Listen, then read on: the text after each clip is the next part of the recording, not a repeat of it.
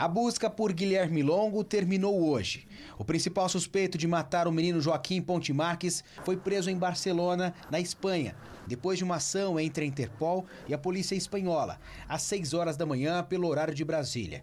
Ele está sob responsabilidade da Polícia Internacional e deve ser extraditado nos próximos dias. De acordo com o Ministério Público, durante esse tempo, Guilherme Longo usou o passaporte de um primo, se passando por Gustavo Raimo. A promotoria também já sabe que ele saiu do país pelo Uruguai e que já tentava até encontrar um lugar para morar em Barcelona. Guilherme já era monitorado pelo Grupo de Atuação Especial de Repressão ao Crime Organizado, o GAECO, que já havia recebido informações do paradeiro dele no final do ano passado.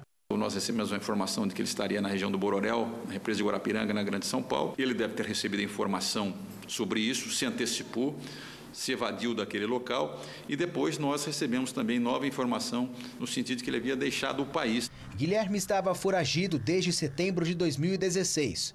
Ele havia sido beneficiado por um habeas corpus concedido pelo Tribunal de Justiça de São Paulo. Antes de fugir, o padrasto do menino deixou uma carta confessando o crime.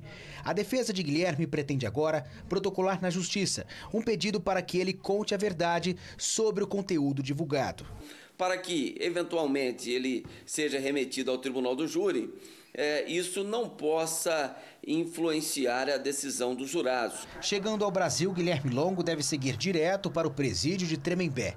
Ele é acusado de matar o menino Joaquim com uma superdosagem de insulina. O corpo do garoto foi encontrado boiando cinco dias depois no Rio Pardo. Portanto, não é confiável que foi concedida liberdade provisória e ele quebrou as condições impostas. Acreditamos que teve apoio de amigos, apoio econômico, da família, para poder se manter tanto tempo foragido, inclusive ser encontrado no exterior.